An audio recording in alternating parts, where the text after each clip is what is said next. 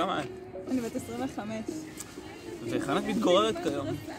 בפועל אני... אני גרה ב- בחולון. ממש מוזר שאת גרה. בחולון אבל. למה? זה חול בקטן.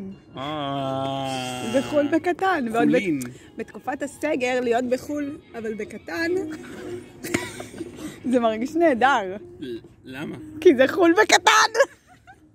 תקשיבי, אני גר עכשיו בתל אביב, ב-TLV, ב-TLV, במו"ל, כן. עכשיו אני יורד ל... יש שם זוזוברה. מה יש שם? זוברה. עבדתי בזוזוברה. זה בחל"ת. חדש כאילו? תקשיבי? יש את ה-TLV מול. אה, זה סתם נראה עכשיו אני הולך לשם. אתה הולך למו"ל, אתה הולך ממול. אני הולך ל-TLV מול, אוקיי? לפעמים אני יורד ל-AMPM, לסופר יודה, לרמי לוי. גבעת השכבה? מה? תקשיבי, בסך הכל יש שני דברים שמובילים אותי בחיים. אוקיי. אורי ובן צבי.